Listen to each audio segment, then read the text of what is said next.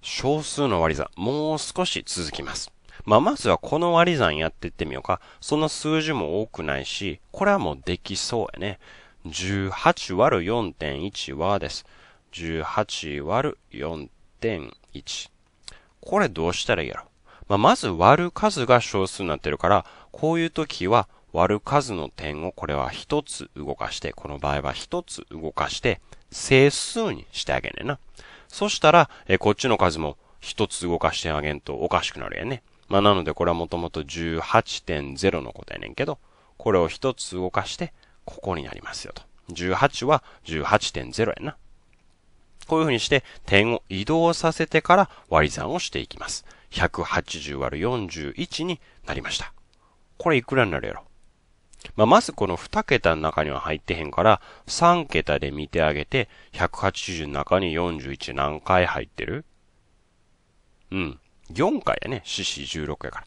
だいたい4回やろと。C1 が C、CC16 で。これでいけそうやね。引き算をしたら、えー、0-4はできへんから借りてきて、10-4で6です。7-6で1です。そしたらこの後は0を足してあげて、下ろしてきて。で、割り算をずっと続けていけるよね、小数の場合は。次じゃあどうなる ?160 割る41です。これ164が4やから、これ3にしたら良さそうやな。それよりちょっとちっちゃいから。31が3、34、12。またこれも引き算をしていきます。どうなるやろ？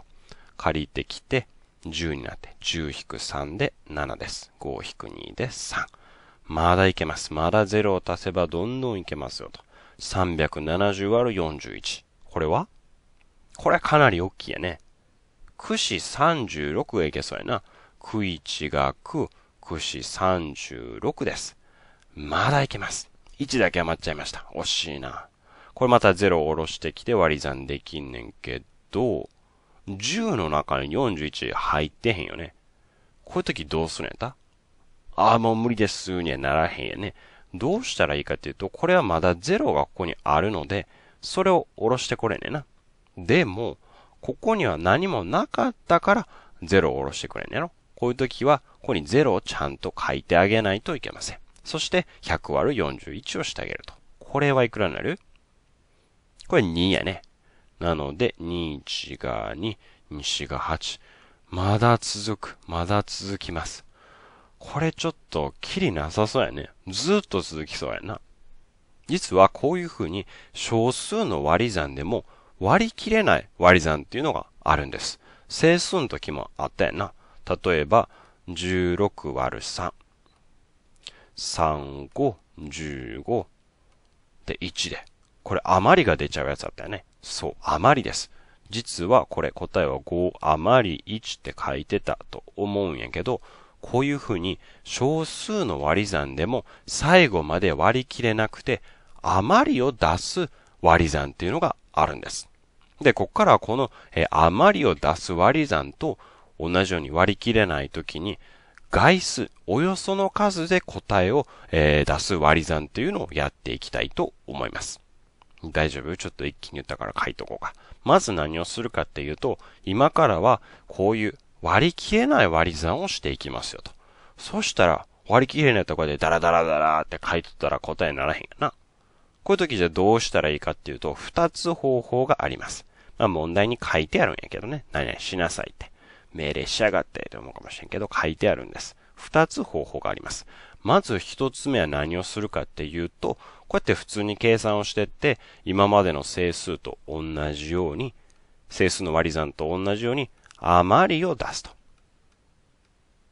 ま、なので答えは、例えばここやと4.390に余りなんとかなんとかみたいに書いてあげるってこと。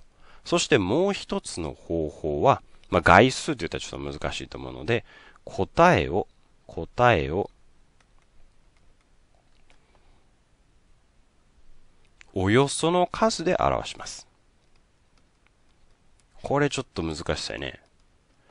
どういうことかっていうと、例えば、これ4.3902ハンジャラハンジャラハンジャラってずっと続いてっても、いやいや、そんなん言われてもわかりませんよって見てる人もなるやね。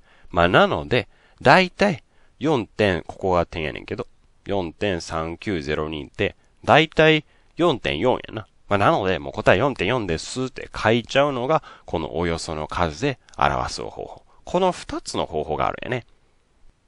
それじゃあ、まずこの18割る4.1。まあ、この2つの方法を使って順番に見ていくんやけど、答えはどうやったら表せるんやろ。次の動画で見ていきたいと思います。